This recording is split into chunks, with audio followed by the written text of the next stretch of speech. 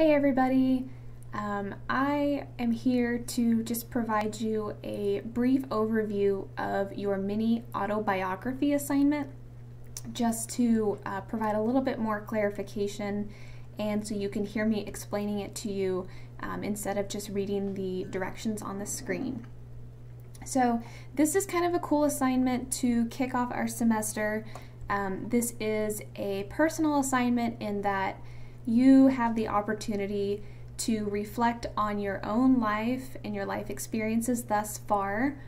Um, and I want you in this short essay to think about um, every time that you have come in contact with government, whether that's federal, state, local, um, anytime that you have talked about politics, interacted with politics, experienced anything political, and important to remember that doesn't just have to be something like an election or um, or any type of voting or talking specifically about politics. Like anytime you've experienced anything political in the world maybe um, you're watching a tv show or um, you've taken another political science class or maybe something in a history class or a sociology class or an ec- uh, economics class, or um, maybe uh, you work in a government job, or you um, you can think of an experience where we what where we reference what we call office politics, um, or you I don't know you um, have been in a protest, or you um, have just engaged in conversations about anything political, whether that um, is politics itself or, or something different. Anything. I mean, this is very, very open ended and it's designed to be that way.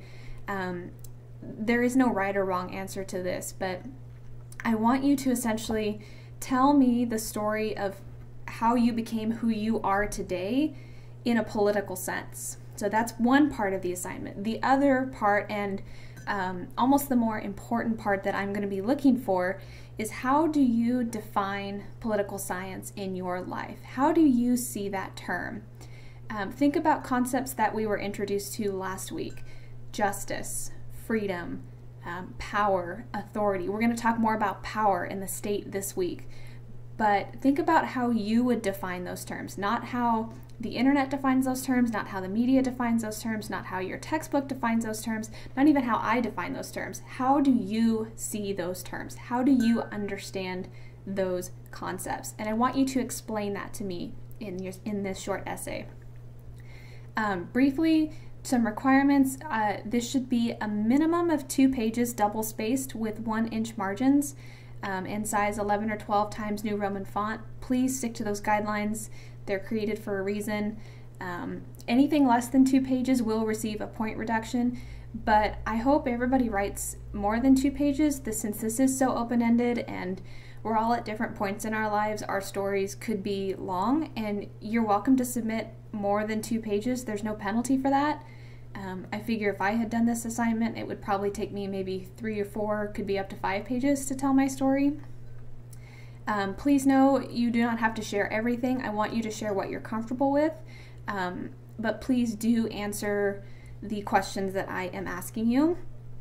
Make sure you have your name, your date, um, or the date, excuse me, that you're submitting this assignment. Please include page numbers. Um, and again, this assignment is open ended. There's no right or wrong answer. I'm not here to critique your story. I'm not here to judge your definitions of these terms. I just want you to really perform a self analysis and think about your life experiences and where you've come from, where you are now, and maybe even where you want to be in the future um, in your viewpoints, um, perspectives on politics and government. If you have questions about how this assignment will be graded, there is a rubric attached to it. Um, but please, if you have any other concerns, feel free to send me a message in Canvas or email me, or um, if you want to talk one on one, I'm happy to meet with you.